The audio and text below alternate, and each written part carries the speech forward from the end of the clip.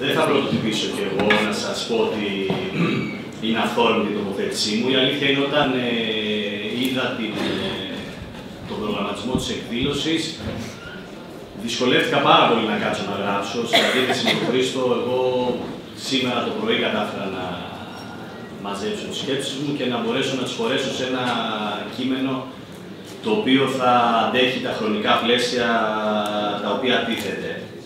Ε, αν μη τι άλλο, κατά τη γνώμη μου, κάθε γενιά κατασκευάζει και τη μυθολογία της, τις οριακές δηλαδή εκείνες στιγμές στις οποίες η συνείδησή της πραγματοποιεί άλματα και στις οποίες συμπυκνώνονται εμπειρίες, πρακτικές και παραστάσεις υπερπολίτημες για το μέλλον. Μυθολογία όχι με τη φαντασιακή έννοια του όρου ή ως μόνιμη επίκληση ενός εξειδανικευμένου παρελθόντος, αλλά και ως ενδυνάμει υλική δύναμη ανατροπής. Γιατί τελικά έχουν απόλυτο δίκαιο όσοι, όσοι υποστηρίζουν πως τα δρότα υποκείμενα της εκάστοτε περίοδου αδυνατούν να εξάγουν τα σωστά συμπεράσματα τη στιγμή που γράφεται η ιστορία και η μακροσκοπική και μετέπειτα ε, ψύχρεμη ματιά με την πάντα των χρόνων έχει να προσφέρει πολλά. Αρκεί να δεις τα γεγονότα όπως το δικό τους ιστορικό πλαίσιο, να μην μετατρέψεις την αποτίμηση των γεγονότων και τα συμπεράσματα που απορρέουν από αυτά σε υπηρέτες της τωρινής ή της τότε αντίληψή σου, να μην ψάχνεις δηλαδή με λίγα λόγια εναγωνίω δικαίωση σε κάθε τι που έκανες ή δεν έκανες. Το λάθος αυτό το έχει κάνει πολλάκι σε αριστερά και σε πολύ μεγαλύτερα και ιστορικότερα γεγονότα από την υπόθεση με την οποία εμείς πραγματευόμαστε σήμερα και νομίζω ότι πρέπει να είναι ε, οδηγός στην όλη μας συζήτηση. Στη μυθολογία λοιπόν της δικής μας γενιάς, αν μπορούσαμε να ορίσουμε έτσι την ηλικιακή ζώνη ανάμεσα στους 30 και κάτι και έως τους 30 παρακάτι, ας το πούμε σήμερα, βρίσκεται σε περίοπτη θέση η φοιτητική έκρηξη του 6-7, φλάει και δίπλα σε μικρότερα ή και μεγαλύτερα σκεπτήματα του νεολαίστικου κινήματος. Τουλάχιστον όμως στο δικό μου μυαλό βρίσκεται δίπλα όχι μόνο στις ηρωικές στιγμές του, του, του, του κινήματος, στον Νόβο Αρσένη, στην ανατοτοποίηση των ΤΕΗ, στους μικρούς μεγάλους αγώνες που δίναμε στον δρόμο και στα αμφιθέατρα, αλλά βρίσκεται πάνω και σαν επιστέγασμα της καθημερινής δουλειάς όλων των ανθρώπων του κινήματος. Βρίσκεται πάνω από τις ώρες που φάγαμε είτε στο ένα είτε στο άλλο είτε στο παράλληλο τραπεζάκι, πάνω από τους λευγού που γδάρθηκαν στον δρόμο και τις συνελεύσεις, πάνω από τις ατελείωτες ώρες στι κοπιαστικέ διαδικασίες, πάνω από τα σκροξίδια που ρίξαμε ή φάγαμε για δύο μέτρα τείχου και για μία αφίσα, πάνω από κάθε μικρό ή μεγάλο στιγμιότυπο των αγώνων και των άγωνων χρόνων της πρώτης, ε, των πρώτων χρόνων της δεκαετίας που μας πέρασε. Αυτό όμως το οποίο μετέτρεψε τα δειλά σκεπτήματα και τις επιμέρους αντιστάσεις στο ορμητικό ποτάμι εκείνου του Μάη, νομίζω ότι είναι πολύ παραμετρικό. Μην ξεχνάμε πως παρόλο που βρισκόμασταν εντός της χρυσής εποχής της ανάπτυξης και μόλις δύο χρόνια μετά τη φάση των παχιών αγελάδων και της Ολυμπιάδας, το λαχάνιασμα αυτής της κατάστασης του συστήματος ήταν φανερό. Στα πλαίσια μας γράφαμε τότε ότι θα είμαστε η πρώτη γενιά που θα ζήσει χειρότερα από τους γονείς της. Και νομίζω ότι αυτό το αντιλαμβανόταν και η πρωτοπορία, οι συνειδητοί αγωνιστές, να το πω έτσι, αλλά και ευρύτερα ο κόσμος, ειδικά στην νεολαία, καταλάμβανε, καταλάβαινε με τον δικό του τρόπο τι είναι αυτό που θα επακολουθούσε την επιδείνωση, δηλαδή τη ραγδαία επιδείνωση της κοινωνικής και οικονομικής κατάστασης. Μην ξεχνάμε όμως ότι παρόλο που βρισκόμασταν στην αυγή της εποχής των social media, να το πω έτσι, και της αστραπιαία μετάδοσης πληροφορίας, υπήρχαν διεθνή παραδείγματα που το άρωμά τους έφτανε ω εδώ και είχαν αντίκτυπο και στα δικά μας δρόμενα. Όπως η νεολαίστικη έκρηξη στη Γαλλία που έβαζε στο επίκεντρο και εκεί το κοινωνικό ζήτημα. Μην ξεχνάμε πολύ περισσότερο ότι το Ελληνικό Πανεπιστήμιο ήταν και παραμένει σε ένα βαθμό ανορθογραφία του μαύρου ευρωπαϊκού κεκτημένου ω αποτέλεσμα κυρίως των συλλογικών αντιστάσεων. Μην ξεχνάμε επίσης ότι στο Ελληνικό Πανεπιστήμιο δρούσαν και δρούν δυνάμεις που κρατούσαν τη φλόγα να μένει ακόμα και στα άδωνα χρόνια της αγωνιστικής ύφεσης έστω και με αιμονικό τρόπο, συνελεύσεις φοιτητικών συλλόγων, κινητοποιήσεις για τις ευρύτερες αναδιαφρώσει στην εκπαίδευση, τη φοιτητική μέρημνα, το άσυλο, ακόμα και για τον καθηγητή που έκοψε το 80% των εξεταζόμενων, την καθαρίστρια που απολύθηκε και πολλά άλλα. Δυνάμεις υπήρχαν που με επιμονή επιχειρούσαν να συνδέσουν τα παραπάνω με το ευρύτερο κοινωνικό ζήτημα, την πολιτική δηλαδή της Ευρωπαϊκής Ένωσης και του κεφαλαίου στην εκπαίδευση. Αυτό το μείγμα, κατά τη γνώμη μου, το εκρηκτικό διαδικασιών, πρακτικών αλλά και συσχετισμών, ας μου επιτραπεί η έκφρασης, διαμόρφωσαν μια μπαροτοκαπνισμένη πρωτοπορία και μια συλλογική ταυτότητα στα ευρύτερα μπλοκ του αγώνα που, σαν έτοιμα από καιρό, υποδέχθηκαν το Μάη. Τα παραπάνω και σίγουρα πολλά ακόμη που δεν αναφέρονται συμπλέκονται με την κατάθεση ενός υπεραντιδραστικού σχεδίου νόμου που περιέχει ακραίες πλευρές αλλά και την παράτολμη επιλογή μιας γενικευμένης αντιπαράθεσης με εβδομαδιαίες κυλιόμενε καταλήψεις, διαδηλώσεις και καθημερινές δράσεις. Το αποτέλεσμα το ξέρετε όλοι και χωρίς να χρησιμοποιήσω πολιτική ορολογία εδώ, κατά τη γνώμη μου ήταν ένα διονυσιακό πάρτι των δυνάμεων του κινήματος και της ανατροπής απέναντι στην ακολουθούμενη πολιτική και στους εκφραστές της. Το πλαίσιο του συντονιστικού της 25η Μάη ταξίδεψε σε όλη την Ελλάδα. Νομίζω ότι και ο πιο αντικοινωνικός και μισητός άνθρωπος να το κατέβαζε σε ένα αμφιθέατρο θα κέρδιζε τη συνέλευση και αρκετά άλλα. Για να μην πλατιάζω, όπως κάθε διαδικασία κατά τη γνώμη μου της πραγματικής ζωής, έτσι και το φοιτητικό κίνημα του 6-7 κλήθηκε να περάσει από τη φάση της άγριας εφηβείας του Μαΐου και του Ιουνίου στην πολιτική του ενηλικίωση του επόμενου χειμώνα. Δηλαδή της αναγκαιότητας μιας γενικευμένης, διαρκούς και σε βάθος αντιπαράθεσης με τις επιλογές της άκουσας τάξης που ξεπερνούσαν κατά πολύ τα πλαίσια του ζητήματος εκπαίδευση. Η αναμέτρηση με την επιχειρούμενη συνταγματική αναδιάρθρωση, αναθεώρηση, απαιτούσε κοινωνικές συμμαχίες στο φοιτητικό κίνημα με τα υπόλοιπα πληττόμενα τμήματα, αγωνιστική ενότητα των δυνάμεων που δρούσαν στο εσωτερικό του κάτω από ένα επαρκές και προωθητικό περιεχόμενο, ξεσηκωμό και ανειρήνευτο αγώνα σε πανκοινωνική κλίμακα. Θεωρώ και θεωρούσα απόλυτα σωστή και επιβεβλημένη τη γραμμή και τη λογική της συγκρότησης πανεκπαιδευτικού μετώπου που παλέψαμε και έκανε μικρά αλλά ουσιαστικά βήματα με την πρωτοπορία των πανεπιστημιακών αλλά και των δασκάλων της πρωτοβάθμιας και των καθηγητών της δευτεροβάθμιας εκπαίδευσης.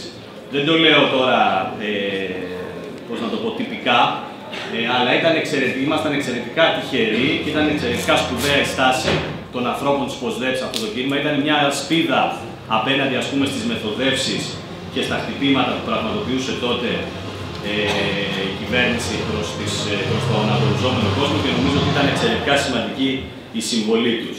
Θεωρώ επίσης απόλυτα σωστή και επιβεβλημένη την ανάγκη ύπαρξης ενός ενιαίου κέντρου αγώνα, του ενιαίου συντονιστικού των φοιτητικών συλλόγων και του πολιτικού πλαισίου που αυτό προέβαλε με τη συμμετοχή και τις συχνές σε αυτό. Θεωρώ χωρίς δεύτερη σκέψη πως τη μεγάλη αγκαλιά των ανθρώπων που συνέβαλαν προωθητικά με τον τρόπο τους βέβαια ο καθένας και με την πολιτικοποίηση και το ιδιαίτερο φορτίο που κουβαλούσε, σε αυτή τη μεγάλη αγκαλιά λοιπόν και στην προώθηση εκείνης της υπόθεσης βρίσκονται και τα αδερφιά της ΚΝΕΠ με τις πολιτικές επιλογές τους, σε αντιπαράθεση μάλιστα με τον αδιφάγο μηχανισμό του ΚΚΕ που αργότερα έριξε τα δόντια του, επέβαλαν την είσοδο της κοινή κινητοποίησης. Ήταν κατά τη γνώμη μου θεμελιακή, ε, θεμελιακό σημείο της προσπάθειάς μας να υπάρχει μια ευρύτερη συμπαράταξη δυνάμεων που άνοιγε και άλλους δρόμους σε κοινωνικό επίπεδο, μιας και ήταν πασίδηλο ότι μπορούσαμε να, ε, ότι θα έπρεπε μάλλον να έχουμε συμμαχίες και με ευρύτερα κοινωνικά τμήματα της εργατικής τάξης του λαού και ούτω καθεξής. Ε, τα γεγονότα μετά είναι γνωστά. Ε, η κατάκτηση της μη συνταγματικής αναθεώρησης, ο Τσαμπουκάς από την μεριά της κυβέρνησης και το πέρασμα του νόμου πλαισίου ήταν τα ε,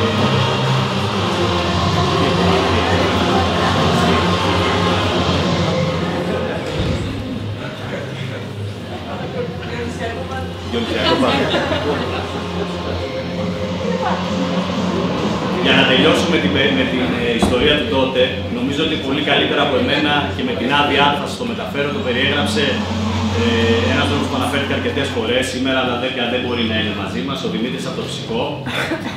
Η νεολαία που διαισθητικά λοιπόν ένιωσε να γλιστρά προς αυτό που αργότερα θα ονομαστεί γενιά της κρίσης.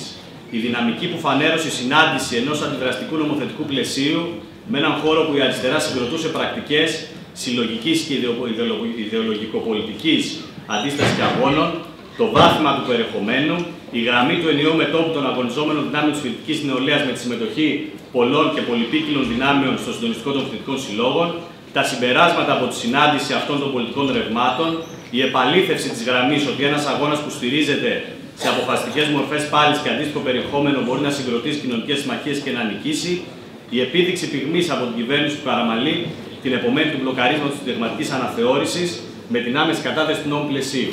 Αυτά ήταν τα γεγονότα ε, χοντρικά. Και δύο κουβέντες για την μετέπειτα πορεία. Κατά τη γνώμη μου, η γενιά του 6-7 ε, αντιμετωπίστηκε αρκετές φορές σαν ο περιούσιος λαός ε, που θα παραλάμβανε ε, τις τύχες της αριστεράς, ας το πούμε έτσι, και των κινημάτων ε, στη χώρα μας. Δεν ξέρω αν ε, τα κατάφερε, πάντως σίγουρα δεν χάθηκε. Παρόλο που η ένταξή της στην παραγωγική και κοινωνική διαδικασία κάθε άλλο παρά ομαλή ήταν. Χωρίς σύγχρονος φυσικά αντιπαράθεση με προηγούμενες γενιές και χωρίς κανένα είδος διαγωνισμού, οι άνθρωποι του 6-7 βρέθηκαν στην πρώτη γραμμή του Δεκέμβρη, του Δεκέμβρη της Οργής. Ήταν το πολιτικό νεύρο της κάτω πλατείας του διετούς ε, ξεσηκωμού του λαού. Πρωταγωνιστούν και πρωταγωνίστησαν στα πολύμορφα κινήματα του αντιφασιστικού αγώνα και της αντιπεριαλιστικής διεθνιστικής αλληλεγγύης. Βγήκαν μπροστά και καθόρισαν την περήφανη μάχη του δημοψηφίσματος, σηκώνουν το γάντι του πολιτικού προβληματισμού και της θεωρητικής αναζήτησης. Τα παραπάνω δεν λέγονται ούτε για να τονωθεί το ηθικό μας, μιας και φαντάζομαι ότι, ε, μάλλον πιστεύω ότι όποιος λέει ότι δεν αντιπαλεύει μέσα του το τέρας του προβληματισμού και της αμφισβήτησης όλων όσων πιστεύει θα είναι ψέμα, αλλά ούτε για να ορειοποιηθεί η επώδυνη κοινωνική και πολιτική κατάσταση στην οποία καλούμαστε να ανταπεξέλθουμε. Ο λόγος για τον οποίο σημειώνονται είναι γιατί σύμφωνα με τη δική μου οπτική, η πολύμορφη αυτή ζώνη των αγωνιστών του 6-7 φέρει ορισμένα κοινά χαρακτηριστικά που εν πολλής εγγράφηκαν στο πολιτικό του DNA την αναφερόμενη περίοδο. Οι διαφορές μας αναντήρητα είναι πολλές και ιστορικές και δεν λύνονται στα πλαίσια μιας εκδήλωσης και μάλιστα αυτού του χαρακτήρα. Ωστόσο, τα αποτυπώματα των κοινωνικών και πολιτικών αγώνων, ιδιαίτερα αυτής της έντασης, είναι βαθιά και ορίζουν όσους τα έζησαν. Αφήνουν λοιπόν πίσω τους κατά τη γνώμη μια ενότητα αντίληψης και ένα βαθύ σεβασμό και εκτίμηση ανάμεσα στους ανθρώπους που σηκώθηκαν λίγο πιο ψηλά.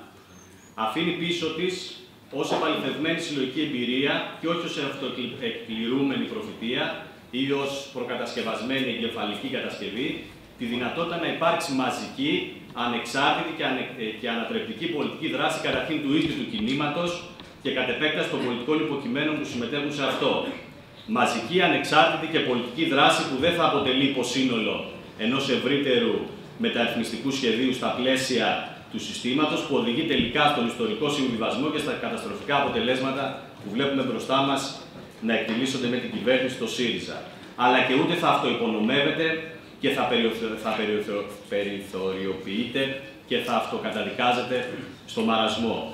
Σίγουρα, φίλες και φίλοι, το 6-7 ήταν πολύ περισσότερα από αυτά που και εγώ κατέθεσα και όλοι ας πούμε, μπορούμε να σκεφτούμε. Είναι σίγουρα η στιγμή για μένα που μπήκαμε στο μαθηματικό και ήταν ένα αμφιθέατρο ξεχυλισμένο μέχρι πάνω. Η δεύτερη συνέλευση που δεν χώραγε στα αμφιθέατρα του μαθηματικού και έγινε στο φυσικό. Το 6-7 συντρόφοι και σύντροφοι είναι η αυτενέργεια των ανθρώπων του αγώνα που πύκνωσαν τις γραμμές των μπλοκ πορείε, που ερχόντουσαν στις συντονιστικές επιτροπές κατάληψης, που βγάζαν μόνοι τους αφισετάκια, που χίλια δυο πράγματα. Είναι το ερμητικό ποτάμι που έμπαινε στα δύο και ανεβαίναμε στα καγκελάκια εκεί στη σταδίου να δούμε πίσω μας τον κόσμο που ακολουθεί. Είναι τα ανοιγμένα κεφάλια, οι συλλήψεις και όλα αυτά. Ε, όπως είπα και πριν, το αποτύπωμα είναι πολύ βαθύ και νομίζω ότι ε, το έψαξα, δεν βρήκα ποιανού είναι η πατρότητα του αυτής της έκφρασης. Δεν κάνω ευθύγραμμη αντιστοίχηση, αλλά όπως λέμε ότι κάποτε αντάρτης, πάντοτε αντάρτης, για εμένα η γενιά αυτή μπορεί να υπήρξε κάποτε καταληψίας και αγωνιζόμενη ενάντια στην εκπαιδευτική αναδιάρθρωση, θα υπάρχει πάντα ως τέτοια και στις επόμενες μάχες. Ευχαριστώ.